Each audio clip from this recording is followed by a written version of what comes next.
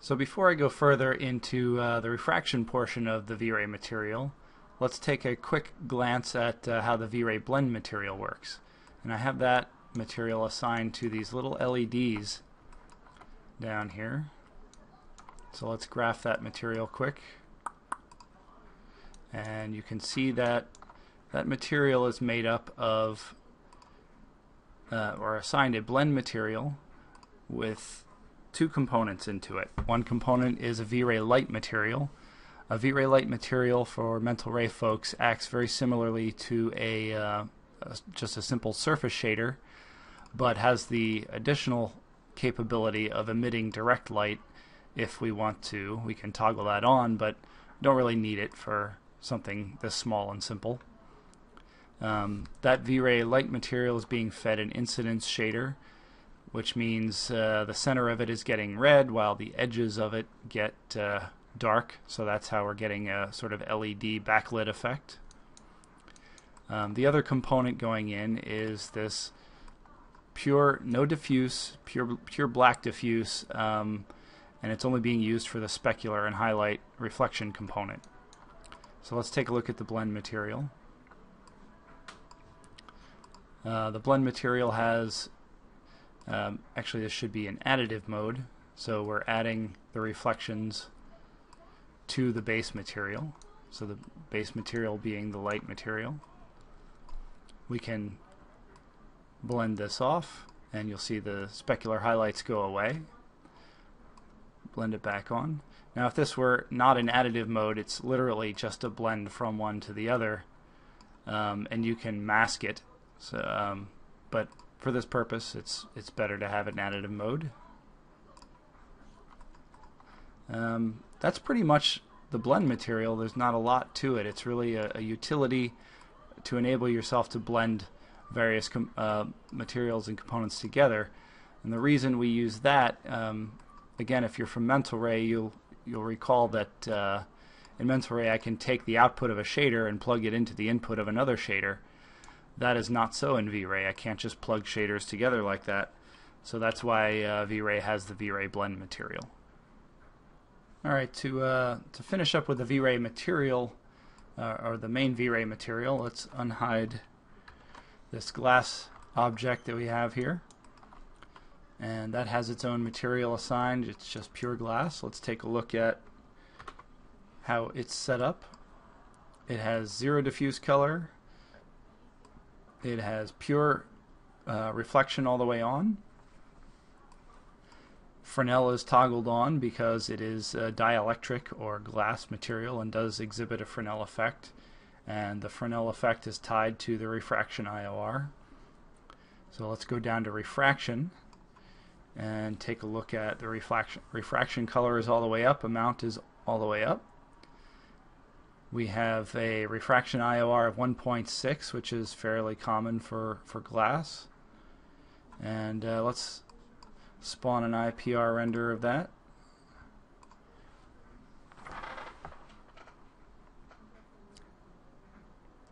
So there's our glass material. You can see down here at the bottom we're getting very dark, sort of unnatural refraction. Um, I believe that's the RT engine if I go to the setup for that and go into the RT engine setup, you can see the trace depth is limited to 5. So if we take that up to 7 enough, 7 looks like it might be enough. Let's go to 8 just in case.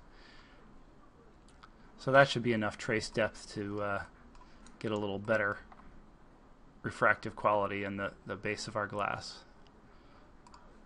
So the refraction uh, area is very similar to the reflection in that uh, one of the major controls of the quality of refraction is the glossiness slider.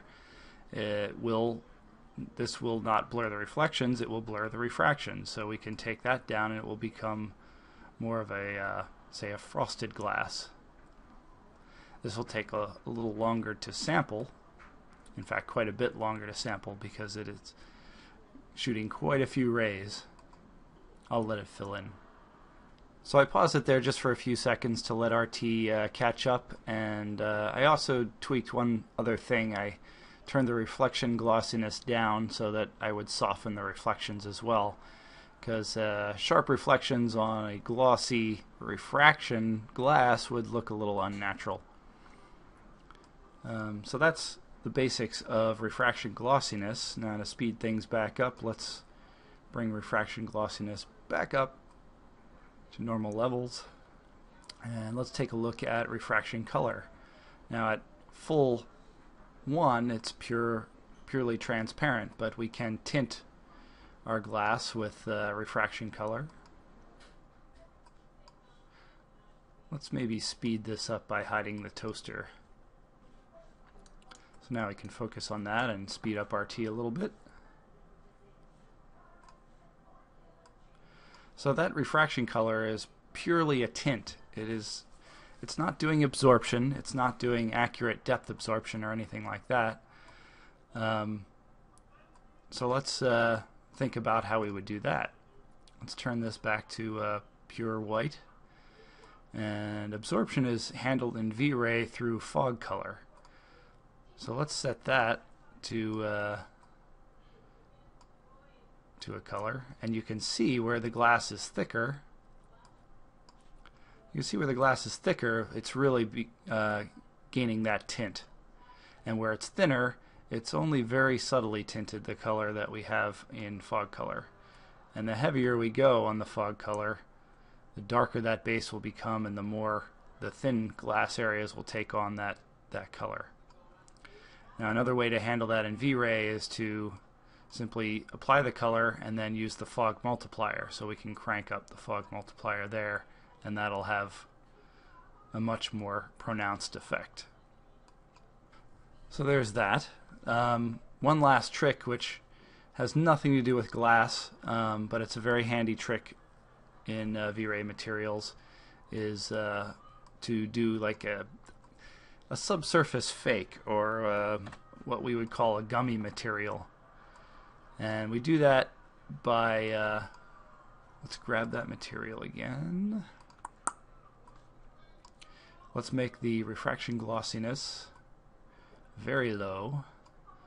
And the refraction, let's go up here and make the diffuse color, say, sort of a pink reddish. And now, this refraction color acts as a blend between the two. So if I dial it all the way down, now we essentially have a diffuse material. And let's turn off reflections right now. So uh, it renders a little faster. We don't have to deal with reflections right now. And now that refraction color again acts as a blend between that subsurface highly glossy refraction that transmits light through it.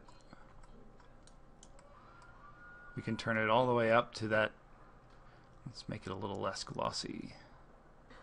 So I again pause that for a second to uh, allow V-Ray RT to catch up a little bit.